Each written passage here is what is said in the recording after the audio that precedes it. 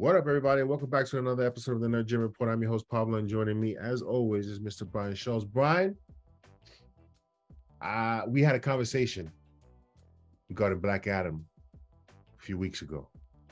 And I had mentioned to you that I predicted that Superman may, may make an appearance. What I did say, though, uh, as well, was that Henry Cavill will be in it. So thus far, I, I seem to be half right. I still think Henry Cavill is going to show up. I think they're throwing this out there to so so that the big surprise when people go to the theaters to see this movie and it's actually Henry Cavill. I just feel it in my bones because I know The Rock and Henry Cavill are cool, and we've seen them together and they've spoken and Henry and Rock has a lot of pull. I'm telling you, Suge Knight 2.0, whatever he wants happens. Brian, what are your thoughts of the possibility if we do get a Superman a, a, a Superman cameo appearance and it's similar to how they did Shazam? What are your thoughts on that uh, sequence if it does happen? Well, if they do it the way they did in Shazam, that's a disgrace. Um, I'm, I'm 100% on a faceless, headless, just see the costume from the neck down. That would be the fitting letdown of a movie that I think is going to let you down um, by the time you leave the theater. But I, The Rock also acknowledged, I think he'd on social media, he acknowledged a fan post about and requesting Henry Cavill and kind of saying he's aware of it and you know he agrees. But like you know I, I hear what you're saying. But like it's a legal problem. It's a contractual issue right? Like to get henry cavill in the movie really comes down to money. Is he is he contracted to do, do does he have any appearances left on his old contract that he has to fulfill? Are they going to sign him to a new contract just to do you know a couple a couple scenes? I'm skeptical uh, it would certainly add to the buzz around the movie, but I'm skeptical. And it would be it would be just like everything that I feel. See, you feel in the bones that you're going to get Henry Cavill. My feeling in the bones that this movie is going to disappoint. And so, to me, a, a a Superman cameo that's not really Superman would fit with that and be like The Rock being like, "How cool is it that I have Superman? He's right there in the movie." But you don't have Superman. You got nothing. You got you got you know you got some dude in Times Square in a costume who, who jumped on set for a day. Like oh, yeah. I'm, I'm not with it. I'm not with it. Okay, Brian, but let me pose this scenario. What if it is Henry Cavill? Let's say just say he shows up and it's Henry Cavill. If you see that on screen, does do do you get excited? Do you do you are you with the many fans that will be perhaps yelling like yay you know and clapping henry cavill and stuff. For me is like okay what else you got? Because this is this this isn't it. I've seen henry cavill superman. What do you have for the future of this character?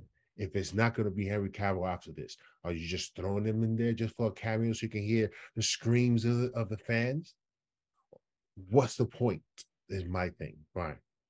Yeah, I'd be more confused uh, than excited. Um, you know, we, we've obviously we know that David Zaslav is prioritizing Superman. We have heard rumors there's some interest in maybe bringing Henry Cavill back.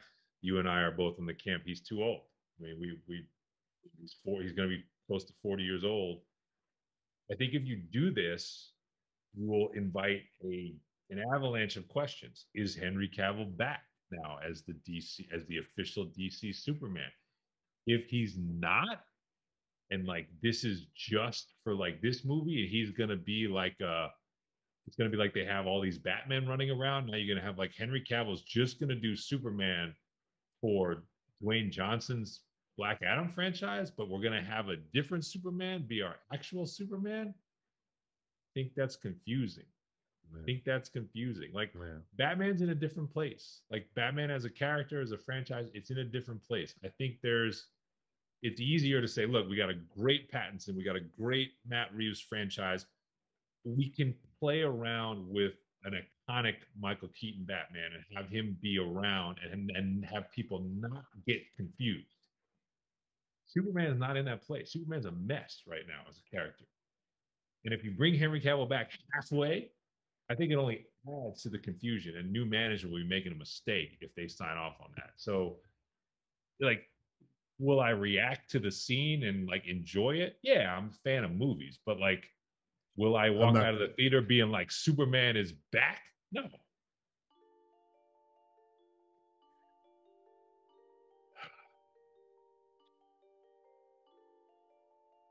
Listen,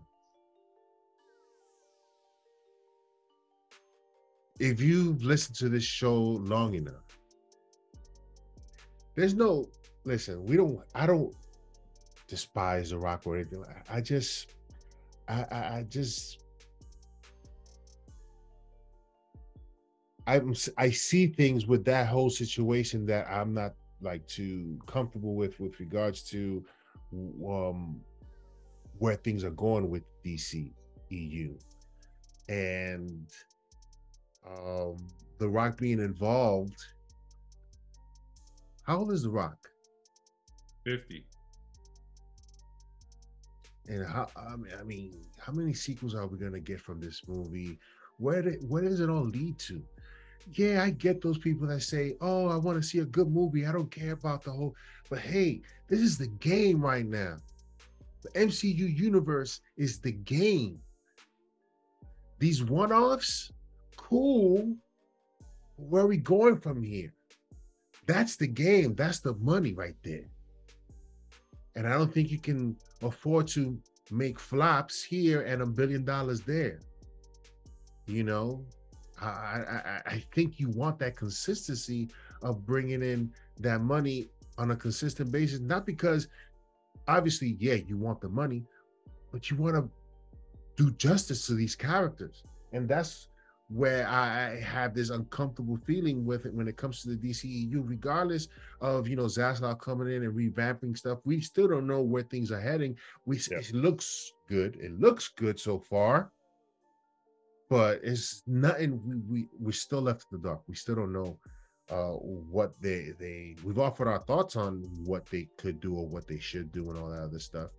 Um, but based on the actions of uh, thus far taken with the the merger or whatever or the takeover, it seems like they're heading that way. But with The Rock involved and Black Adam, a movie that I, for me it just came too late, Brian.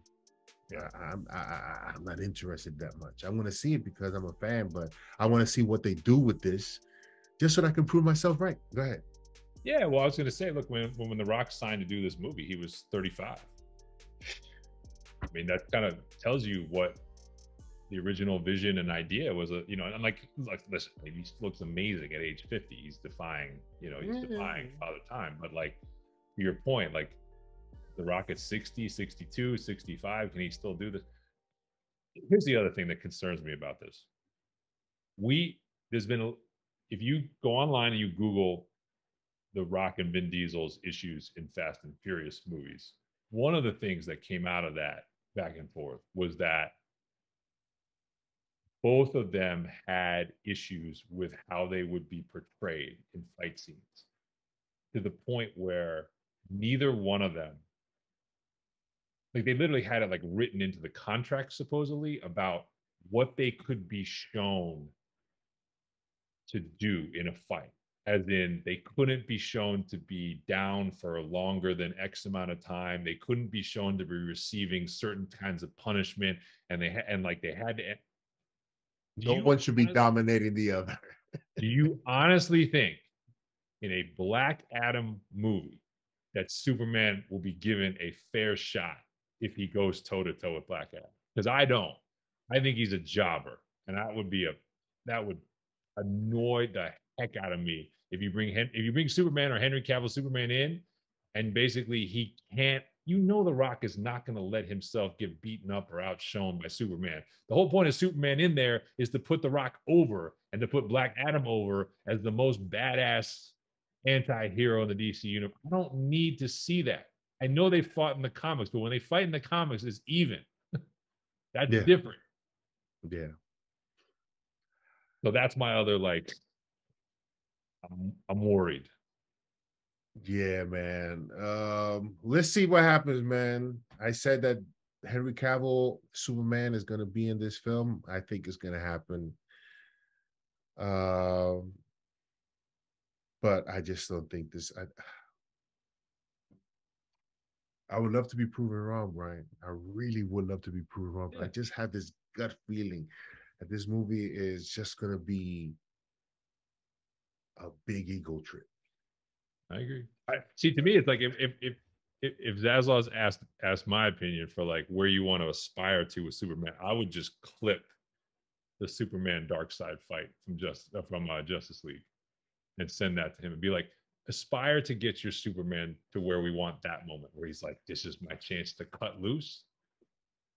Get us to that point where we're like, we want to see that fight. That's the fight we really want to see done well. Yeah, yeah, you're right. That that that was one of the best uh in Justice League animated series, Justice yeah. League Unlimited. That yeah. was one of that was that was one of the best moments. Oh my god. So much stuff that you can just look at and be like, let's do that. But no. The other thing, by the way, just to just to while we stay on this, this is the other reason why. So if they had Henry Cavill and they wanted to get the hype train going for this movie. That is the perfect Comic Con reveal. Yeah. Perfect. Like, if they had a Black Adam panel, they got a new trailer, he, they're hyping the movie, and then all of a sudden, Henry Cavill walks on stage.